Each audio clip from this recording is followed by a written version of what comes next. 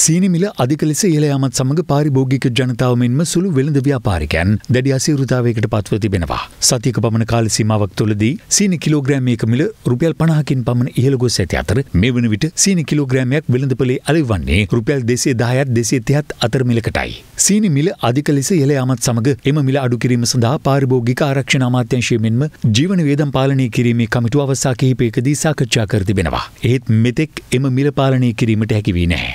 වාර්ෂික සීනි පරිභෝජනය සඳහා metric ton ලක්ෂ පන්සියක් මෙරටට අවශ්‍ය වනවා. ඉන් මෙරට වාර්ෂිකව නිෂ්පාදනය කරු ලබන්නේ සීනි මෙට්‍රික් ටොන් සියක් පමණයි. ඒ අනුව ඉතිරි සීනි තොග මෙරටට ආනයනය කිරීම සිදු කරනු ලබනවා. ආනයනය කිරීමේදී සීනි කිලෝග්‍රෑම් එකක් මත තිබූ රුපියල් 50 බද්ද පසුගිය වසරේ ඔක්තෝබර් 13 වන දින සත 50 දක්වා අඩු කෙරුණා. එලෙස බදු අඩු කිරීම සම්බන්ධයෙන් එවකට දැඩි සංවාද පැවතියද බදු සහනය මගින් ජනතාවට සහන සැලසීම රජයේ අරමුණ වී තිබුණා. පසුගිය සති කිහිපයේදී රජයේ පාර්ශ්වයේද ප්‍රකාශ කළේ මාස 6කට අවශ්‍ය සීනි තොග මෙරට පවතින බවයි. කෙසේ වෙතත් එසේ තිබියදී නොසිතූ ලෙස වෙළඳපොලේ සීනි මිල ඉහළ යමින් පවතිනවා. මීට සති කිහිපයකට පෙර වෙළඳපොලේ සීනි කිලෝග්‍රෑම් එකක් රුපියල් 100ත් 130ත් අතර මිලක පැවතියත් මේ වන විට එම මිල රුපියල් 210ත් 230ක් දක්වා ඉහළ ගොස් තිබෙනවා. සීනි ගත්ත සීනි කිලෝ එක 210යි. මේ සීනි ටික ගත්තත් කඩ තුනකට ගිහිල්ලා. මම සති තුනකින් සීනි කුරන්නේ මොකද අද 190යි හෙට 200යි ලොරිය ගෙනත් බානවා. පාරිභෝගිකයෝ ඇවිල්ලා අපිට බයිනවා. ඒගොල්ලෝ හිතන්නේ මේ සීනි මිල වැඩි කරන්නේ අපි කියලා. මේ ගත්තේ 210යි. ඊයේ ගන්නකොට එක තියන්නකෝ. හෙට කීයකට ගන්න වෙයිද දන්නේ නැහැ. සීනි ඉවරයි. කීයක් දුන්නේ සාමාන්‍ය සීනි? 120ට දුන්නේ. අද නම් සීනි ඉවරයි. 120ට වික්කේ. සීනි අර ඇවිල්ලා 230ට වුණා. සීනි තියෙනවද ඕන තරම් ගන්න? සීනි ඉවරයි. ටිකක් තිබ්බා ඉවරයි. මේ අතර පාරිභෝගික අයිතීන් සුරකීමේ සංවිධානයේ සභාපති අසේල සම්පත් මහතා අද පැවති මාධ්‍ය හමුවකදී ප්‍රකාශ කළේ වෙළඳපොලේ ප්‍රමිතියෙන් තොර සීනි පවතින බවයි. මේ වෙනකොට වෙළඳපොලේ තියෙන සීනි මම පෙන්වන්නම්. මේ තියෙන්නේ මේ සීනි. මේ තියෙන්නේ සීනි. මේ බලන්න මේ සීනි තනිකර හක්ක පටස් වගේ. මොකද මේ සීනි තනිකර මේ වගේ මේ වීදුරු කෑලි වගේ මේ සීනි තියෙන්නේ. මේ බලන්න. තනිකර වීදුරු කෑලි වගේ මේ සූකිරි කෑලිත් තියෙන්නේ මෙන්න මේ වගේ. එතකොට මේ සීනි අල්ලට කාලා තේබනකොට හක්ක පයින්නවා පටපටස් ගාලා මේක හපන්න. ඒ තරම්ම මේක ගණත්තේ වැඩි ඒ වගේම හයියයි. එතකොට මෙවැනි සීනි මේ ප්‍රමිතිය පිළිබඳ බරපතල ප්‍රශ්නයක් තිබෙනවා. මේ අතර පාරිභෝගික සේවාධිකාරියේ පාරිභෝගික සේවා කටයුතු පිළිබඳ විධායක අධ්‍යක්ෂ තුෂාන් ගුණවර්ධන මහතාද මෙලෙස අදහස් පළ කළා.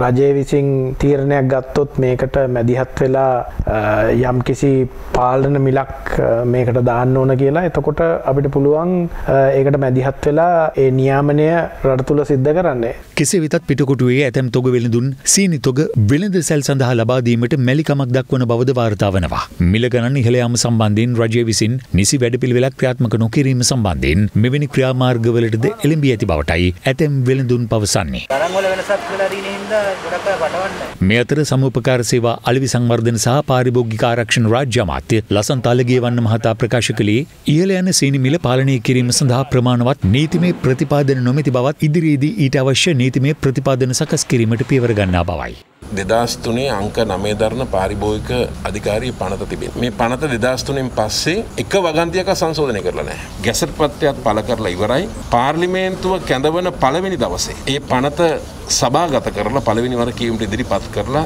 ඊළඟ දවසේ විවාද කරලා නීතියක් බවට පත් කිරීමට අනිවාර්යයෙන්ම කටයුතු කරලා තිබෙනවා. මේ වැඩි කරලා තිබෙන මිල අනිවාර්යයෙන්ම වැඩි. ඒ නිසා ලබන සතිය අනිවාර්යයෙන්ම මිල අඩු කිරීම සඳහා රජයේ විදියට මැදිහත් වෙලා කටයුතු කරනවා. සීනි මිල ඉහළ යාම සම්බන්ධයෙන් පක්ෂ විපක්ෂ දේශපාලනඥයින් මෙලෙස අදහස් පළ කළා. පාලන මිලකින් තොරව දිනෙන් දින සීනි මිල ඉහළ ගිහිල්ලා තියෙනවා. බොහෝ තැන්වල රුපියල් 200 ඉක්මවා සීනි කිලෝ විකුණන තත්ත්වයක් අද උද්ගත වෙලා තියෙනවා. අනේ නිසා තමයි මම කීවේ පවතින තත්ත්වය මැඩ පැවැත්වීම සඳහා පවතින නීති රීති ප්‍රමාණවත් නොවන්නේ නම් නව නීති රීති පනවල හෝ ඒ කටයුත්ත කරන්නටයි අවශ්‍ය පියවර ගනිමින් සිටි. සීනි සත 25 බද්ද දීලා ඒ සීනි ගෙනාපු ව්‍යාපාරිකයා ආණ්ඩුවේ කෙනෙක් වෙනකොට ආණ්ඩුවට සම්බන්ධය වෙනකොට ඒ සත 25 ගාලා රුපියල් 85ට සීනි දෙන්න කියනකොට අද සීනි 220යි 230යි 240යි. එතකොට මේ රුපියල් 100 120 කාගේ සාක්කුවටද යන්නේ?